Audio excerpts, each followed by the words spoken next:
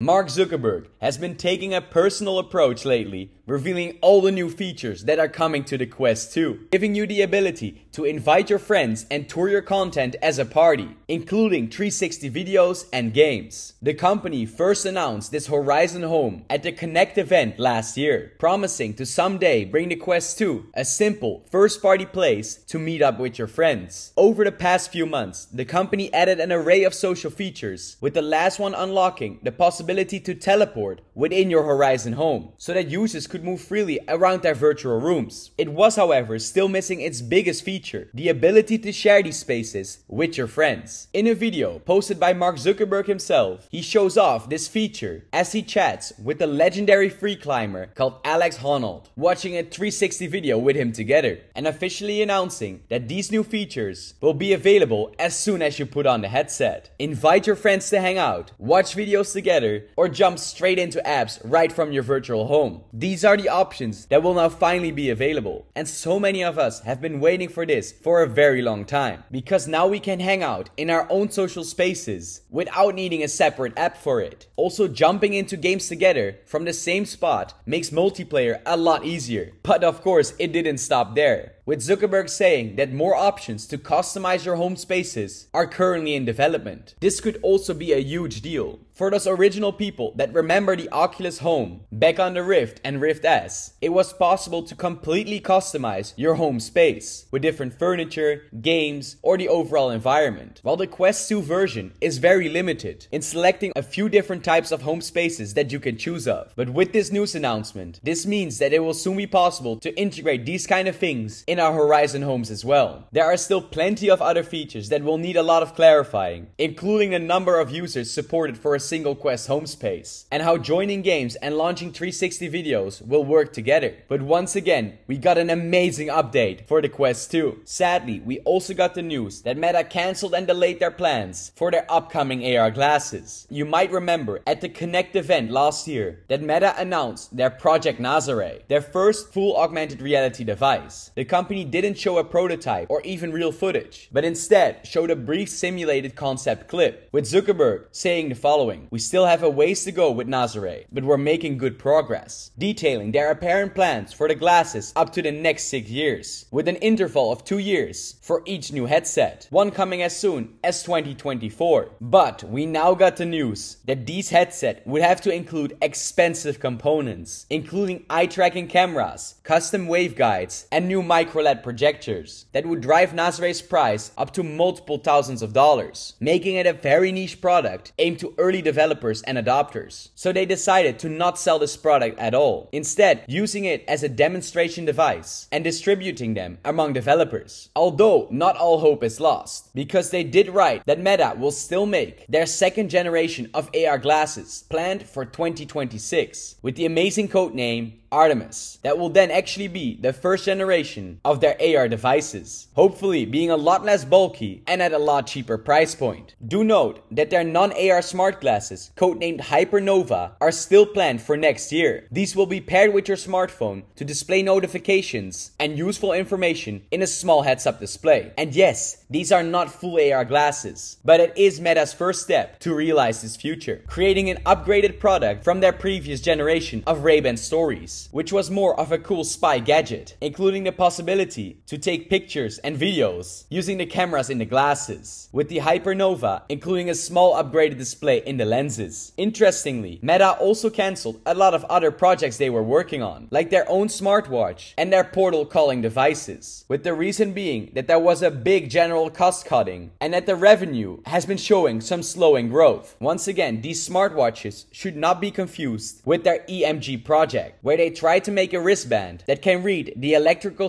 signals coming from your brain. Because this amazing technology is still full time in the working. With Mike Bosworth confirming this with their following tweet post. We're going to ship wrist wearables and AR glasses that will bring complete new technology like EMG to the market. The path to the groundbreaking products is not a straight line. And as common in our industry, we iterate on multiple prototypes in parallel and shift resources as we learn, confirming all the previously mentioned news. So although it might sound bad that they cancel these plans, it also shows that Meta is focusing on the most important things at hand. And I can't wait to get our hands on this amazing new technology.